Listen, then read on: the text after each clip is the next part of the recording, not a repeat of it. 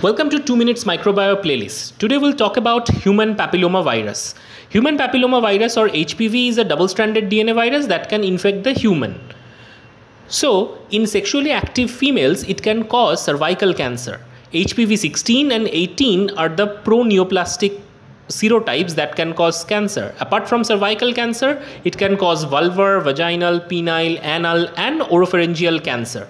So HPV can cause hyperplastic epithelial lesion known as warts. So they have dramatic specificity for epithelial cells.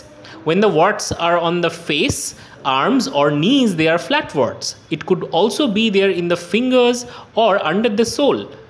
Then it, is known as plantar warts. Sometimes anogenital area also show these warts.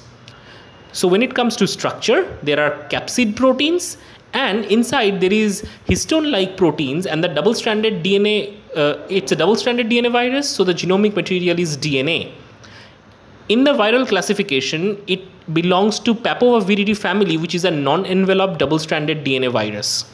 Inside the skin it can proliferate in different cell types. So basically in the basal cell type this virus infects and when it these cells divide in the spinous cell layer it assembles and amplifies its genome.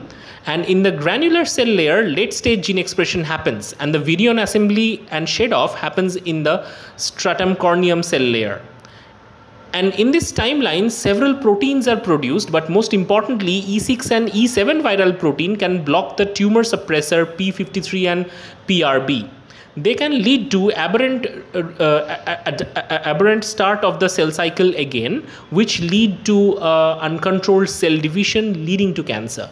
So uh, the warts can be treated using cryotherapy laser therapy or chemical based therapy HPV vaccine is based on the viral particle injection. This virus like particle can evoke antibody mediated responses in the host body. So it is treatable with a vaccine.